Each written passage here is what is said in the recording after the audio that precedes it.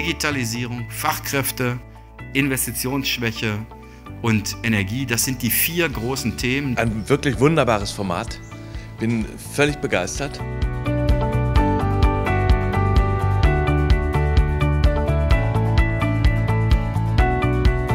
Hier werden Diskussionen ausgelöst, die dann fortgesetzt werden in München, in Mannheim, in Hamburg, in Köln und in Duisburg. Und nicht eben nur die Politiker immer reden lassen, sondern in einen, in einen echten Dialog eintreten. So viele hochkarätige Leute aus Gesellschaft, aus Gewerkschaften, aus Wirtschaft und Politik zusammenzubringen, das ist schon was.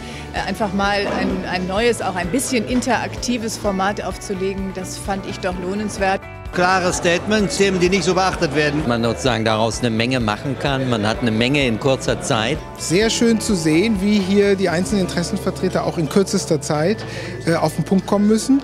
Man kriegt ein gutes Bild davon, was, was immerhin die, wenn Sie wollen, die äh, Meinungsmacher in diesem Lande jetzt machen. Fand ich sehr gut. Das Besondere sind die vielen Perspektiven. Ja, ich war letztes Jahr schon hier und ich glaube, dieses Jahr ist noch besser. Insofern tut der Politik hier das Zuhören und Mitdiskutieren gut. Sehr verdienstvoll.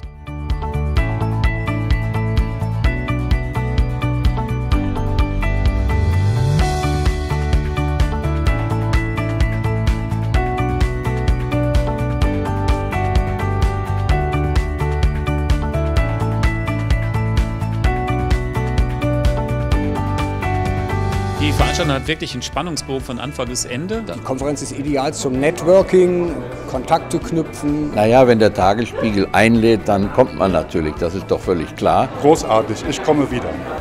Also ich war letztes Jahr schon da und war begeistert. Das hätte ich dem Tagesspiegel so gar nicht zugetraut. Großes Kompliment.